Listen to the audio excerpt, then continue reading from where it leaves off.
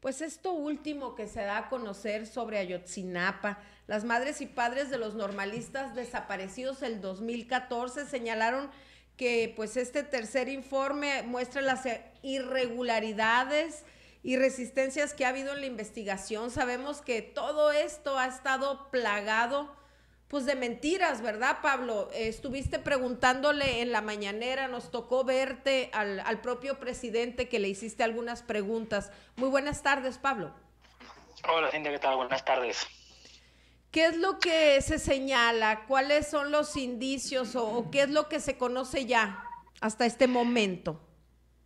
Bueno, para poner en contexto a tu auditorio, eh, recordemos que en septiembre del 2014 eh, un ataque coordinado o, sí, un ataque coordinado por, por, criminales y, autoridades en, en, Iguala Guerrero acabó con, con, la desaparición de 43 estudiantes de la Escuela Normal Rural de Ayotzinapa, cerquita de Tixla, cerca de la capital de Chilpancingo. Eh, también no hubo muertos aquel día y demás. Eh, la desaparición de los muchachos eh, nunca se resolvió en parte, en buena parte, porque la investigación que se llevó a cabo durante la administración del presidente Enrique Peña Nieto por parte de la antigua PGR pues fue un verdadero desastre, ¿no? y no un verdadero desastre, porque al final la palabra desastre, digamos que sugiere cierta negligencia, cierta incapacidad. Y aquí lo que estamos viendo con el paso de los años es que hubo una intención de cerrar en falso las pesquisas. ¿no? Eh, ya sabíamos, eh, esto no es de ahora, ya sabíamos que, tanto marinos como agentes de la Fiscalía Federal habían usado la tortura como método de interrogatorio con decenas de, los detenidos, tanto del Grupo de Guerreros Unidos eh, que fue el, digamos el, la red criminal sobre la que sobre la que giró el ataque a los normalistas. Eh, sabíamos también que habían habido eh, diligencias u operativos que no habían constado en el expediente, como aquel que Tomás Cerrón, antiguo director de la Agencia de Investigación Criminal de la PGR, había ido con un detenido a, la zona, a la zona clave de la narrativa que planteó la antigua PGR durante el gobierno de Peña Nieto, ¿no? Me refiero al basurado de Cocula y al río San Juan. Esta visita que hizo Cerón con el detenido no constaba en acta, no constaba en el expediente, y a partir de esta visita supuestamente al día siguiente se encontraron los restos de uno de los normalistas en el río San Juan. Hablaba yo de la versión del gobierno anterior. Recordemos que la versión que dio el gobierno anterior es que Guerreros Unidos coludidos con autoridades municipales habían asesinado y luego incinerado los cadáveres de los 43 muchachos desaparecidos en el basurero de Cocula, que es un pueblo muy cercano de Iguala, donde ocurrió el ataque, y luego habían arrojado los restos al río San Juan, que está más o menos cerca.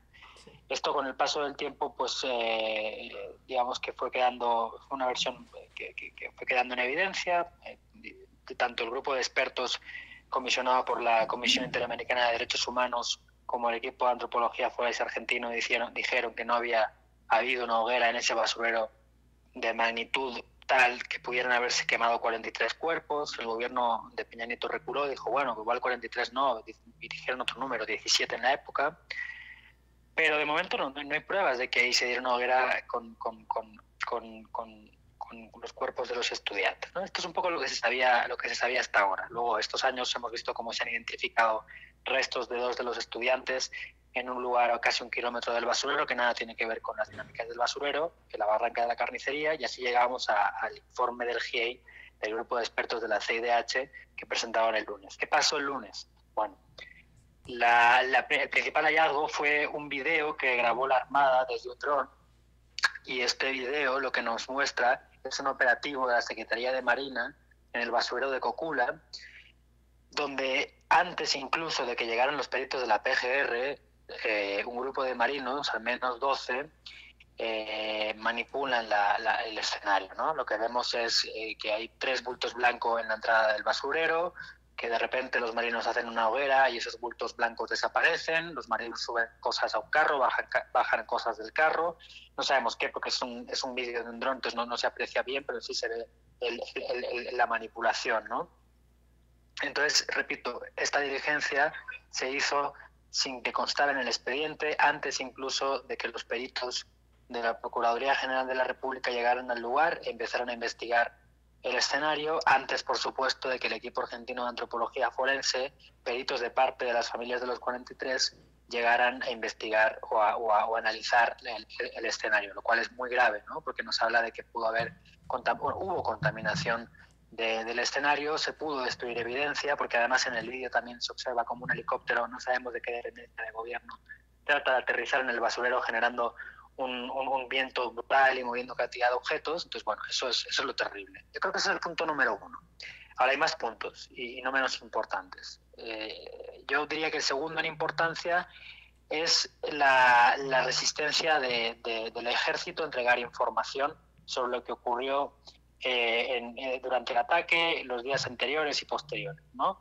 Sabemos que, que, ya se sabía que la Secretaría de la Defensa, porque la Comisión Presidencial que investiga el caso nos informó al respecto el año pasado, que el Secretaría de la Defensa, digo, había monitoreado o había estado monitoreando a, integrantes de la red criminal de la zona de Iguala durante, durante la época en que ocurrió el ataque. De hecho, el año pasado, decía a finales, la Comisión Presidencial de Yotzinapa divulgó un par de, de, comunicaciones interceptadas por el ejército entre, entre integrantes de Guerreros Unidos. ¿no? Una de las comunicaciones es del mismo día 26 de septiembre de 2014, el día del ataque.